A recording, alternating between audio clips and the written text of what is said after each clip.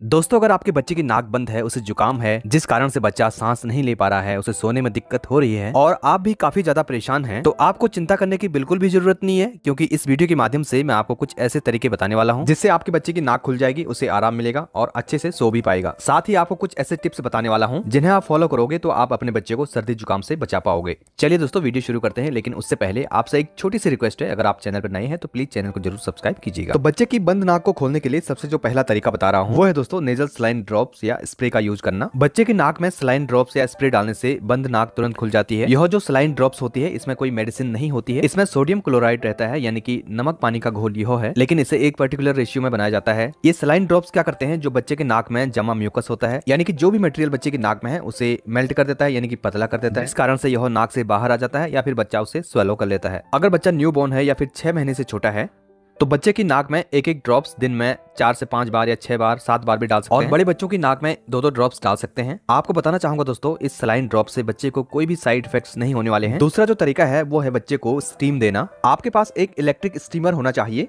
Steamer आपको online या offline कहीं भी मिल जाएँगे। ये ज़्यादा कॉस्टली भी नहीं होते हैं, आप आसानी से इन्हें खरीद सकते हो। स्टीमर कैसे दें, इसका तरीका मैं आपको बताता हूँ। स्टीमर में नॉर्मल टैप वाटर डालें, ध्यान रखें इसमें आरओ का पानी ना डालें। फिर बच्चे को अपनी गोद में स्ट्रेट बैठा लें। स्टीमर को बच्चे से दूर रखें। ध्यान रखें गर्म भाव बच्चे के फेस पर ना जाए। जैसे आपने बच्चे को अपनी गोद में बैठाया, फिर अपने ऊपर एक कपड़ा डाल सकते हैं, जिससे जो स्टीम है वो कपड़े के अंदर कलेक्ट हो जाए। बस आपको इस बात का ध्यान रखना है कि बच्चे को थोड़ा सा दूर रखना है।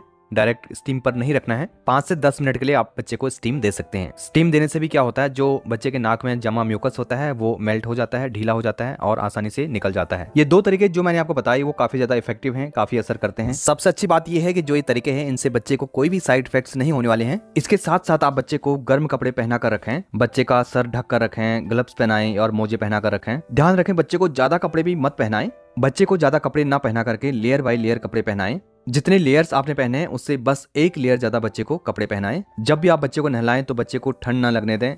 खिड़की दरवाजों से भी काफ़ी ज़्यादा ठंड आती है तो बच्चे को ठंड से बचाएँ। रूम में अंगीठी या हीटर ज़्यादा देर तक जलाकर ना रखें, क्योंकि इससे जो रूम की ह्यूमिडिटी यानी कि आर्द्रता होती है, वो कम हो जाती है। साथ ही कमरे की जो ऑक्सीजन है, वो भी बंद हो जाती है, जिससे बच्चे को सांस लेने में ज़्यादा तकलीफ़ हो सकती है। आपको हीटर जलाकर कमरे को गर्म करना है और उसके बाद बंद कर देना है। अगर बच्चा बड़ा है तो आप बच्चे को गर्म लिक्विड पिला सकते हैं, जैसे गर्म सूप हो गया, वेज सूप या फिर चिकन सूप। इससे भी बच्चे को काफ़ी ज़्यादा राहत मिलने वाली है। यहाँ पर मैं आपको काफ़ी ज़्यादा इंपॉर्टेंट सलाह देना चाहूँगा, अगर बच्चे को काफ़ी ज़्यादा खांसी है। बच्चे की छाती से काफ़ी गड़गड़ की आवाज़ आ रही है। बच्चा तेज़ी से साँसें ले रहा है और हाँफ रहा है। दूध या खाना नहीं खा रहा है, साथ ही बच्चे को बुखार भी है। बच्चा काफ़ी ज़्यादा सुस्त पड़ा है तो ऐसे में आप देर ना करें। जल्द से जल्द बच्चे को पीडियाटिशियन यानी कि बच्चों के डॉक्टर के पास ले जाएँ। तो दोस्तों, आशा करता हूँ इस वीडियो के माध्यम से आपको पूरी जानकारी मिल चुकी होगी। वीडियो हेल्पफुल लगी तो वीडियो को लाइक कर दीजिएगा और साथ ही चैनल को सब्सक्राइब कर दीजिएगा। और इस वीडियो को अपने दोस्तों के साथ, अपने रिलेटिव के साथ या अपने व्हाट्सअप स्टेटस पर ज़रूर शेयर कीजिएगा, ताकि अन्य लोग भी इस वीडियो के माध्यम से जानकारी ले पाएँ और उसका लाभ उठा पाएँ।